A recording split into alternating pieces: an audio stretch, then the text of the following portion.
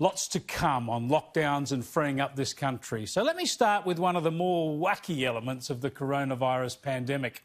Last month, I told you about a loony pitch being made by Channel 7's Pete Evans.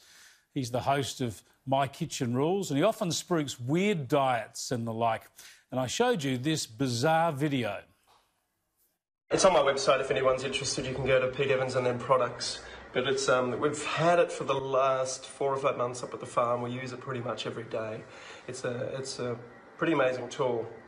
Uh, it'll take you down some rabbit holes, so I won't. It will take me an hour or two to explain it. But I do have a podcast coming very shortly.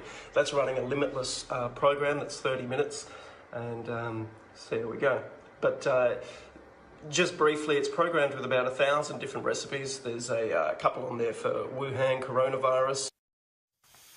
Talk about taking us down some rabbit holes. Yeah, the Wuhan cures or the coronavirus tonics, some such, I don't know. At the time, I said this was pretty disturbing. And a few weeks later, Evans was actually fined $25,000 by the Therapeutic Goods Authority for promoting this light machine.